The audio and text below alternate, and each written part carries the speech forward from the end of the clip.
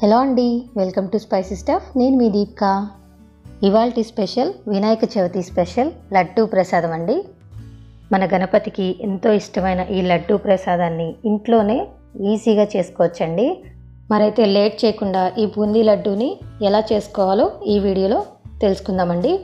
ఇప్పుడు ఈ లడ్డూని ప్రిపేర్ చేసుకోవడానికి ఒక మిక్సింగ్ బౌల్ తీసుకుని అందులో ఒక గ్లాస్ దాకా శనగపిండిని చల్లించిన శనగపిండిని తీసుకోండి.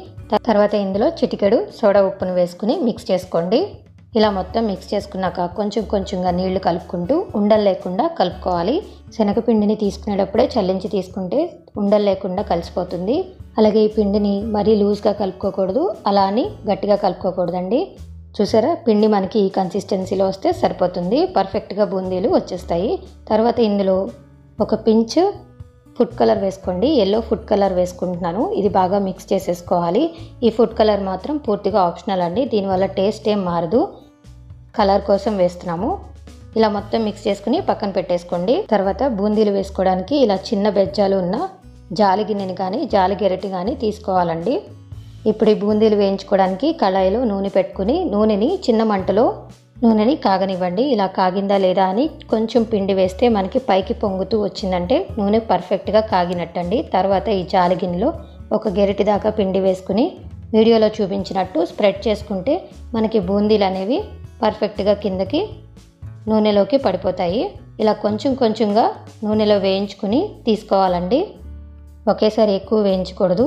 బూందీ వేసుకున్నాక ప్లేట్ని ఇలా తిప్పి పెట్టుకుంటే మనకి తర్వాత వాయి వేసుకునేటప్పుడు బూందీకి తోకలు రాకుండా వస్తాయి. ఇప్పుడు ఈ బూందీని అటు ఇటు తిప్పుతూ చిన్న మంట మీద వేయించుకోవాలి. హై ఫ్లేమ్లో వేయించుకుంటే ఎక్కువ వేగిపోతాయండి. బూందీ అనేది ఎప్పుడైనా సరే లడ్డూకి పైన క్రిస్పీగా లోపల మెత్తగా ఉండాలండి. వేయించుకున్నది చెక్ చేసుకుని తీసుకోవాలి బౌల్లోకి. ఇప్పుడు బూందీని ప్రెస్ చేసి చూపిస్తాను. ఇలా నొక్కితే మనకి పైన క్రిస్పీగా లోపల మెత్తగా పర్ఫెక్ట్గా వచ్చిందండి. ఇలా పట్కర్తో పట్టుకుని బూందీని వేసుకుంటే చేతి మీదకి వేడి రాకుండా ఉంటుంది. సేమ్ ప్రాసెస్లో తర్వాత వాయిలన్నీ కూడా వేయించుకోవాలి. చిన్న మంటలో ప్రతి వాయి వేయించుకునేటప్పుడు బూందీని చెక్ చేసి తీసుకోండి. చూసారా బూందీ ఇలా పర్ఫెక్ట్గా ఉందంటే పాకం కరెక్ట్గా పీల్చుకుని లడ్డు పర్ఫెక్ట్గా వస్తుంది. మనకి సోడా ఉప్పు కూడా ఎక్కువ అవ్వలేదు. పర్ఫెక్ట్గా సరిపోయింది. ఈ బూందీ మొత్తాన్ని ఒక బౌల్లోకి తీసుకుని పక్కన పెట్టేసుకోండి. తర్వాత ఒక ప్యాన్ పెట్టుకుని ముప్పావు కప్పు దాకా పంచదార తీసుకోండి. లేదంటే మీరు స్వీట్ ఎక్కువ తినే వాళ్ళైతే ఒక కప్పు దాకా పంచదార తీసుకోవచ్చు.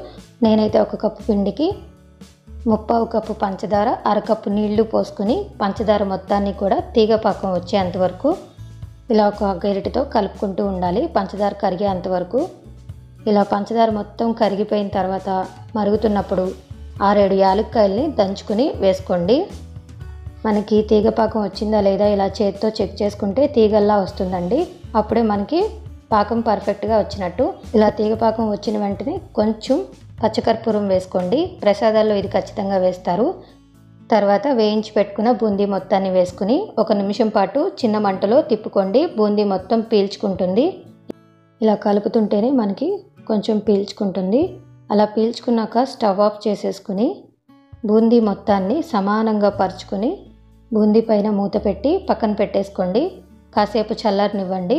తర్వాత మరో పక్క ప్యాన్ పెట్టుకుని లడ్డూలోకి కావాల్సిన నట్స్ని వేయించుకుని తీసుకున్నాము ఒక టేబుల్ స్పూన్ నెయ్యి వేసుకుని జీడిపప్పు ఎండు ద్రాక్ష వేసుకుని వేయించి పక్కన పెట్టేసుకోండి. తర్వాత బూందీ కాస్త చల్లారాక ఈ బూందీలోకి కలిపేసుకోవాలి. ఈ బూందీని కొంచెం మిక్సీ పట్టుకోవాలండి. ఇలా చిన్న మిక్సీ జార్లోకి తీసుకుని వేడిగా ఉన్నప్పుడే మిక్సీ పట్టుకోవాలి. తర్వాత బూందీ మొత్తాన్ని ఒక బౌల్లోకి తీసుకుని నట్స్ని యాడ్ చేసుకుని మిక్సీ పట్టుకున్న బూందీ మిక్చర్ని కూడా యాడ్ చేసేసుకోండి. ఇలా మనం మిక్సీ పట్టుకుంటే లడ్డూ చేసుకునేటప్పుడు పర్ఫెక్ట్ బైండింగ్ అనేది వస్తుందండి. ఇలా మొత్తాన్ని మిక్స్ చేసేసుకుని ఇందులో కొంచెం పుచ్చగింజలు వేసుకోండి.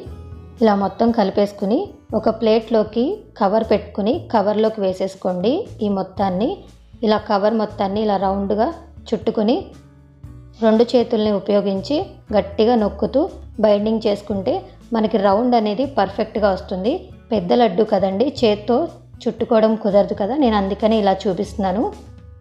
చూసారా మనకి ఇప్పుడు లడ్డు ఎంత పర్ఫెక్ట్గా రౌండ్ వచ్చేసిందో.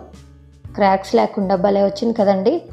ఇలా చుట్టుకునేటప్పుడు మీకు రౌండ్ కనుక పర్ఫెక్ట్గా రాలేదనిపిస్తే బయటకు తీసుకున్నాక కొంచెం చేత్తో ఒత్తుకుంటే రౌండ్ వచ్చేస్తుంది.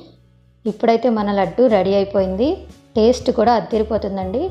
ఇప్పుడు ఈ లడ్డూని మంచిగా రోజ్ పెటల్స్తో డెకరేట్ చేసేసుకుని వినాయకుడికి ప్రసాదంగా నివేదించేసుకోవచ్చు. ఇంతే అండి ఎంతో సింపుల్ ప్రాసెస్లో గణపతి లడ్డు ప్రిపేర్ అయిపోయింది కదా. ఇలా పెద్ద లడ్డు చేసుకుని దేవుడికి పెట్టుకుంటే చాలా బాగుంటుంది. ఈ లడ్డూని చూస్తుంటేనే చాలా బాగా అనిపిస్తుంది. మీరు కూడా తప్పకుండా ఇంట్లో ట్రై చేసి ఎలా వచ్చిందో నాకు కమెంట్ సెక్షన్లో కమెంట్ చేసి తెలియచేసేయండి. మరి నా వీడియో కనుక మీకు నచ్చినట్లయితే నా వీడియోని లైక్ చేయండి షేర్ చేయండి సబ్స్క్రైబ్ చేసుకోండి. నా ఛానల్ని ఫాలో అయిపోండి. మరిన్ని మంచి రెసిపీస్తో మీ ముందుకు వస్తాను. Thank you for watching